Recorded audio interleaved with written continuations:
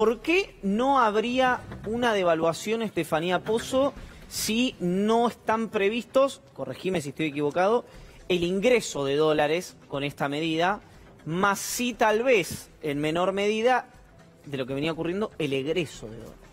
Bueno, ahí tenés eh, una famosa eh, ecuación, eh, que de hecho es el nombre de una consultora, que es P por Q, ¿no? Precios por cantidades. Entonces ahí si vos tenés un problema de salida de reservas, tenés dos opciones. O devaluás fuerte, porque la devaluación lo que te hace es un impacto en, la, demanda, como se encarece mucho, eso tiene un impacto directo, o restringís las cantidades que se pueden adquirir, que fue un poco el, lugar por el que fue la Administración Nacional, restringir las cantidades de muchos, eh, de muchas maneras, porque una de las que estábamos hablando recién tiene que ver con los dólares de los ahorristas, pero también tomó otra medida muy importante que tiene que ver con la reestructuración de las deudas de las empresas que en, en los próximos seis meses vendían, perdón, eh, vencían algo así como 3.300 millones de dólares. Entonces, en un contexto a donde este año ingresó el hubo la menor liquidación de agrodólares desde 2009, ¿no? Con una caída interanual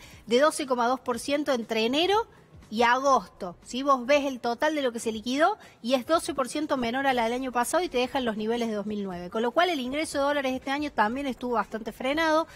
¿Por qué? Bueno, por muchos motivos, ¿no? Por supuesto. ¿Y, eh, y ahí entonces decís, bueno, ¿qué tengo? Tengo menos dólares ingresando, mucha demanda, necesito frenar la Eso pelota. Está claro, yo digo de acá para adelante de acá, para, adelante. Bueno, es la gran pregunta. ¿Cuánto tiempo aguanta más el gobierno sin devaluar? Exacto. Bueno, es una gran pregunta. Ah, yo quiero la respuesta, Estefanía. la pregunta la tengo yo. estoy escuchando a todos los economistas, vengo hablando con todos y todos dicen, bueno, sabemos que estas medidas son de corto plazo. Ahora, la, la, gran pregunta es qué hace el gobierno para empezar a dar señales de cuándo, de cuándo y cómo van a ingresar los dólares, porque la, el ingreso de dólares que estamos mirando ahora es la próxima cosecha que es en marzo. Claro. ¿Qué va a pasar de acá a marzo? No lo sabemos. ¿Qué son estos dos gráficos, uno montado encima del otro, que me, se me entorpece comprender? Bueno, lo que tenés es la evolución del valor del dólar, ¿no? Acá, si querés, lo ves, acá ves la línea y acá ves los valores del viernes. Bien. El de arriba es el contado con liquidación. El rojo. El, el, sí, exacto, el rojo. El de abajo, este amarillo. El flúor, sí. Es el solidario. Fíjate cómo pega un salto. Solidario es el oficial más el impuesto país. Exacto. Después tenés, eh, perdón, este es el solidario. Este, ¿ves? Ah. Que, que, venía tuk, tuk, tuk, arriba. Este es el MEP el de arriba, los dos de arriba son los financieros, el, solidario y los dos de abajo, el mayorista y el oficial. Bien. Y mucho más abajo tenés el agrodólar que está en 52. Bueno, sí. Acá tenemos los dólares podemos decir de los circuitos. No, digo, ese también puede ser un argumento por el cual eh, no están incentivados los sectores agropecuarios a liquidar. ¿Por qué? Porque tenés la, disminución de las retenciones. Exacto. Bueno, eso es como para que veas cómo pega un salto, por supuesto, porque si vos tenés un aumento de un día para el otro de 35% de una retención de un impuesto, por supuesto que te pega un salto enorme. Pero decíamos, ¿no? Está en torno de los 130,70 si sumás todo lo que tenés que sumarle y el dólar blue está alrededor de 140. Bajo un poquito a final de semanas, pero bueno.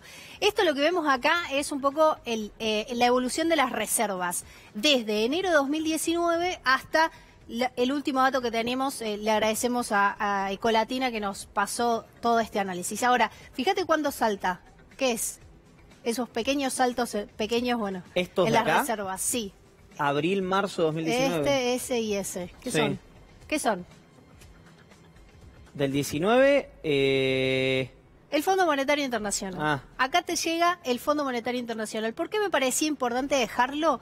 Porque mira cómo llega el fondo y cómo se te baja. O sea, acá tenés, eh, de abril a junio te consumiste casi todo lo que te vino girado el Fondo Monetario interesante eso. ¿Se puede, no, ¿Nos podemos acercar un poco? Perdón si estoy eh, a Leo...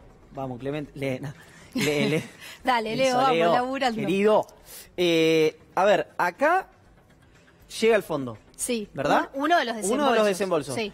Sube hasta acá. Sí y empieza a bajar producto del fugaducto famoso del gobierno, entre otras cosas, digamos, para resumir. Mira acá cómo acá es otro desembolso. Elecciones. ¿Este es otro desembolso? Sí. Otro desembolso del fondo. Vuelve a bajar, esto en octubre, ¿qué fue en octubre? Esto es, sí, octubre. Habrá habido un pequeño repunte y vuelve a bajar. Es decir, no co- corregime si estoy diciendo algo mal, pero Sí. los crecimientos de las reservas durante el gobierno anterior, entre comillas, fueron artificiales. Fueron por el Fondo Monetario. el Fondo Internacional. Monetario. Ahora, ¿en qué usaste eso? ¿En qué lo usaste? En sostener un tipo de cambio que se te saltó igual. ¿No? Queda clarísimo. Vamos a la última placa y un poco acá, digo, la última línea. ¿podés, podés poner otra vez la, la placa, un segundo, de que como mostraba Estefanía recién? Porque me- lo de las, quiero que me expliques reservas netas. y Reservas netas. Bueno, esa es la discusión. De hecho, hoy el vicepresidente del Banco Central dijo tenemos menos de 8 mil millones de dólares de reservas y si ustedes se fijan, la línea de abajo es de 10 mil y acá estamos por debajo, ¿no? Estamos por debajo de la ¿Incluís reserva. swap ahí?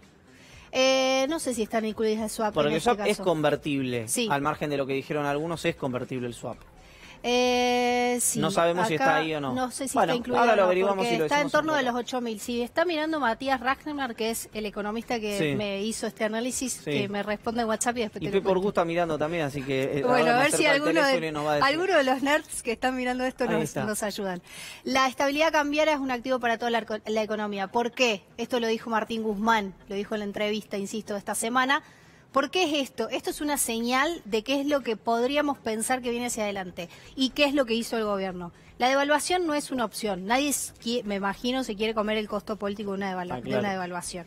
Con lo cual, saben que tomaron medidas, eh, ha- han, han tomado medidas muy poco este, Simpáticas. eh, simpáticas, no me Sí. palabra, muy poco simpáticas. La gran pregunta es qué es lo que viene hacia adelante. Yo también se las hago al gobierno. Me gustaría escuchar qué es lo que viene hacia adelante para tratar de aumentar las reservas. Eh, oh, bueno, hoy lo hablamos, gracias, Estefi. Hoy lo hablamos con Matías Culfas en la radio y eh, invitamos, por supuesto, acá a todos los funcionarios del equipo económico a que vengan o que vengan la semana que viene o la otra o la otra, porque esto evidentemente va a seguir, Sí. por lo menos por un par de meses. Última tanda, en Hagan Algo, ya estamos con ustedes. Más, contás con nuestra semana de ofertas todos los días de la semana. Hasta el miércoles 23 de septiembre, 50% en la segunda unidad de gaseosas y aguas saborizadas seleccionadas. 3x2 en muchas marcas de galletitas y jugos en polvo. Además, pagando tus compras con tarjeta alimentar, aprovecha 15% de descuento en leches, cortes seleccionados de carne, yerbas, galletitas, pañales para bebés y muchos productos más. En Chango Más, seguimos comprometidos para que a las familias argentinas no le falte nada. ¿Está sonando una alarma?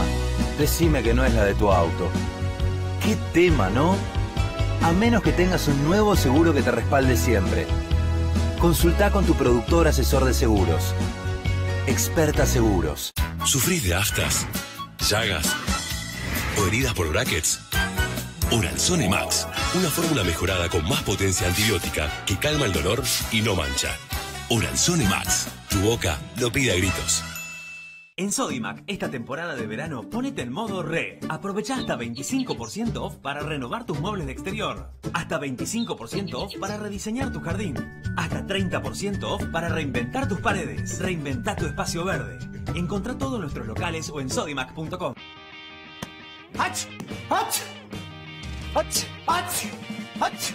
Las causas de la alergia son muchas. La solución, aerotina. Aerotina, salud antes de estornudar. Si no es mucho, decís. No nos va a atender.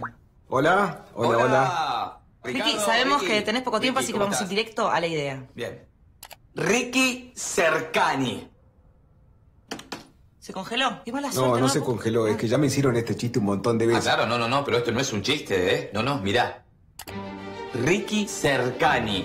Zapatos para ir cerquita.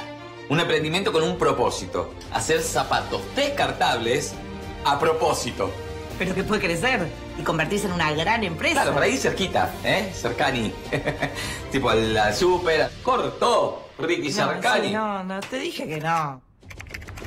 Cambié el nombre, Marcos. Zapatos para ir cercani. Me encanta. Si traes tu negocio a Galicia tenés adelanto de sueldo para tus empleados a tasa cero, tu cuenta y terminal Lapos gratis, financiación online para insumos y maquinaria agrícola.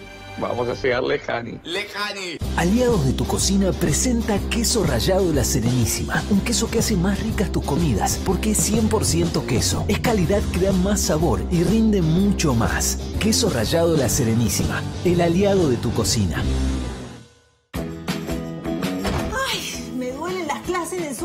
Cocina. Me duele el Para, vos no. Si el dolor persiste, consulta a su médico.